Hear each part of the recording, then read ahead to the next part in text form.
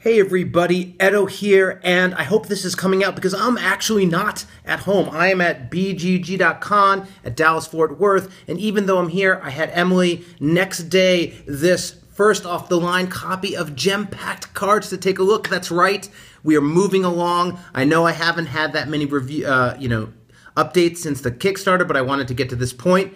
So let me show you, and you can even see the really cool UV finish on it, I think, maybe. Anyway, let's look inside. So here we are, the open box. I apologize in advance for the shaky hand.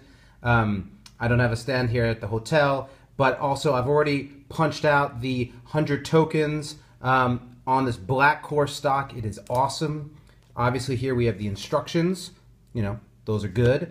We have the advanced to play little a single sheet we added, and then we have all the cards and all of the tokens. So came out great. Cards look great on the table. I got this huge um, chandelier light, but they're all in here, trust me, and I can sort of pull them out here. Wink. And you have all the cards. Okay, I got one hand. I'm sorry this isn't more elegant. Cards!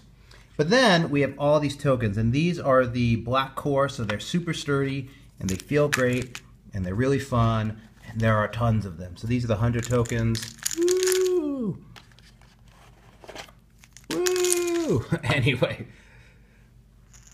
GemPacked Cards. Um, this is the first edition. Uh, uh, first off the run, we're still working through the rest of it, but once we have them all in good shape and I approve this, we will start the shipping process. So check out the update for more details.